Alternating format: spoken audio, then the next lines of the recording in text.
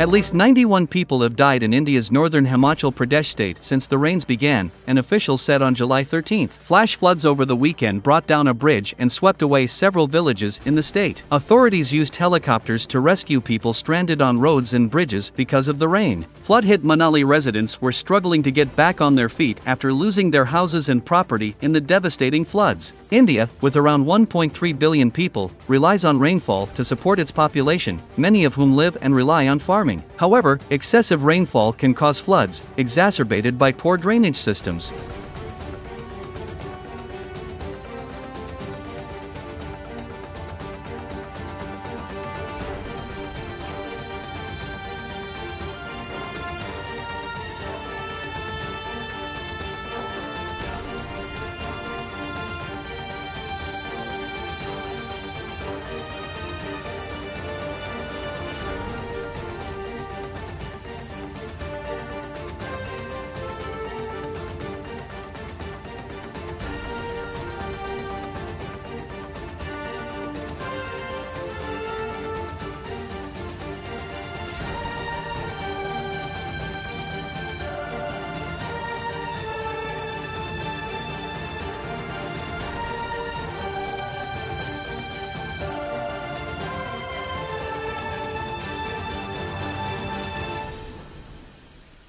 तकरीबन 91 डेथ्स इसमें अभी तक जो है हुई है।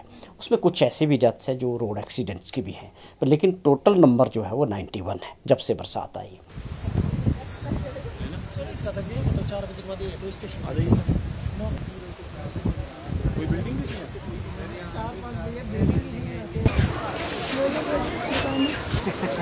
सब कुछ बोले जो गया बोलेंगे।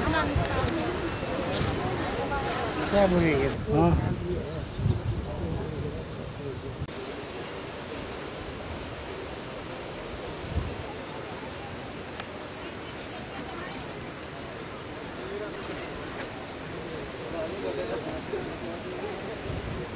देखा नहीं किसी को, ये वो कितना नुकसान हुआ है। यहाँ ये, कम से कम आते तो आते, दिखाते बहुत हो गया जी महाराज, मैंने तो सब कुछ कुछ नहीं निकाल दिया, बस अपने जो है, कपड़े लगाए बस यही निकाल दिया, बाकी खाना पीने का सामान भी कुछ नहीं, भांडे, बर्तन कपड़े शपड़े सब गए कुछ नहीं निकाले, नहीं।